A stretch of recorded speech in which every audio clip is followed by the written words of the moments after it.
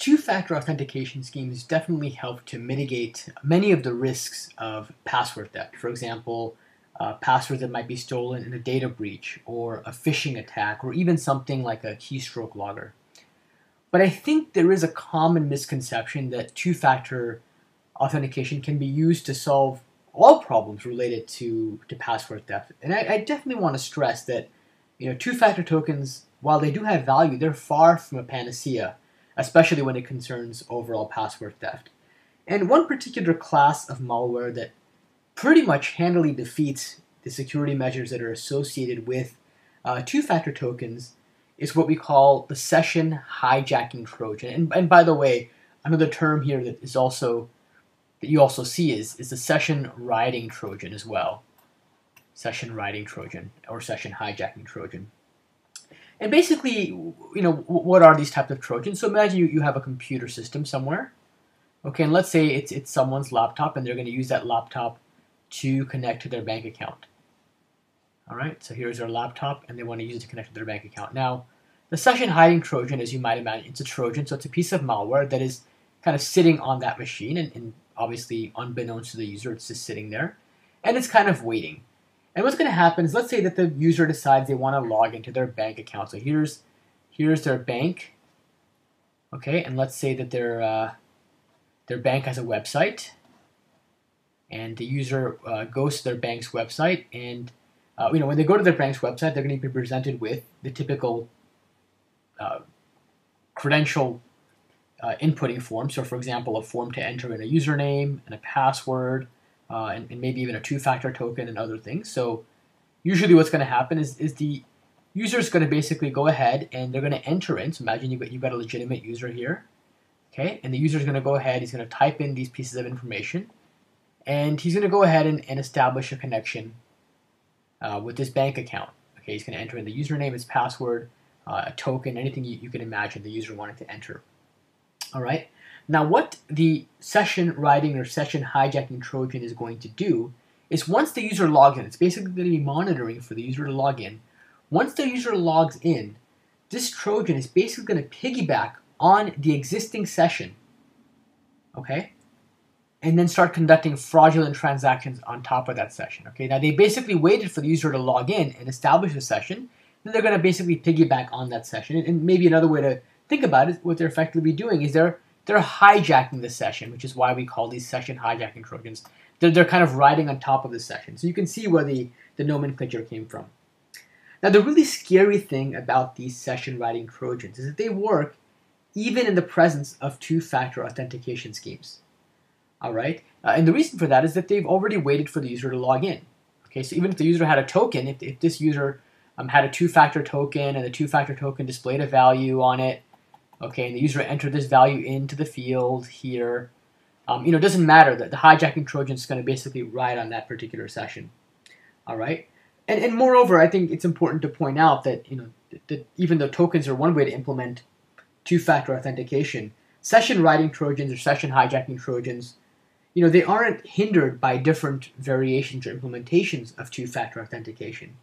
Uh, for example, you know, they can be used to defeat hardware tokens. They can be used to defeat software tokens. They can be used to defeat um, SMS tokens or paper-based tokens or grid-based tokens and, and so on and so forth.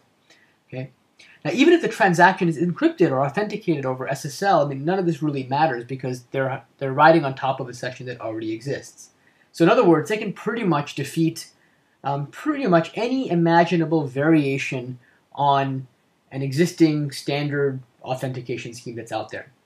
Okay, and hopefully, I haven't kind of you know, don't sound like a broken record, but really the, the ultimate reason for that is they basically rely on the user to log in first. And so the, the user kind of solves the authentication problem for the malware. And then once the authentication is done, then they basically surreptitiously co-opt the remainder of the session. Okay? There are a few examples, I think a few case studies I can mention of session hijacking trojans that are out there. I think the, the most common one is, is one that's known as Zeus. Okay, Zeus is a banking Trojan. It's, it's one of the most popular ones out there. And it's certainly among the most frequently ones seen in the wild.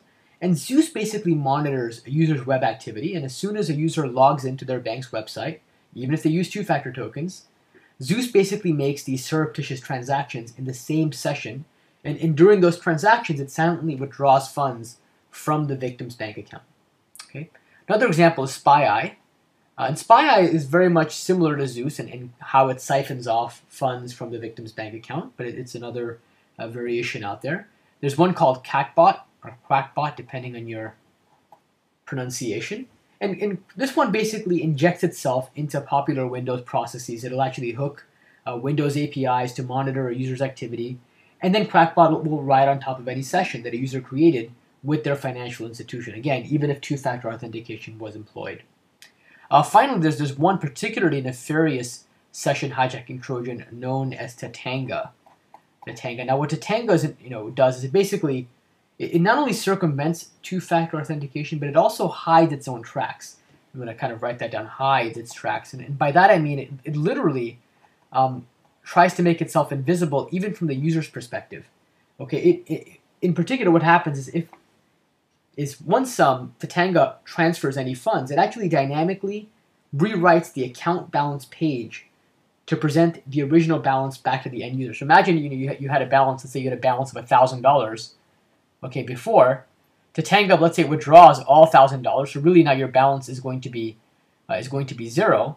But Tatanga is going to basically rewrite the, th- the zero back to a thousand. And so what you're going to see when you're the user is still going to see thousand, even though in reality his bank balance is going to be zero. Okay. And I think this particular one is just, it's just unbelievably nefarious. But but really the main lesson here, maybe a, a broader lesson from a security perspective, is that any security measure that you place at a higher level cannot be used to solve a security problem that's been introduced at a lower level. Okay? Once a system has become compromised and malware has been placed on it, when you have a system that's been compromised down here and there's malware on it, anything you do downstream, any security measure you place downstream, like if you put a two-factor token, really a two-factor token is, is operating kind of at this level. It's not actually operating at the level of the, the, physical system. It's actually operating at the, at the transport level, if you will, or the, the level at which the user is connecting and creating a session with their bank account. All right? And so all bets are going to be off about whatever security measures you place downstream. So I think, again, I'm going to just emphasize that once more that a security measure placed at a higher level, you just cannot use it to solve Uh, any kind of security problem that was introduced at a lower level.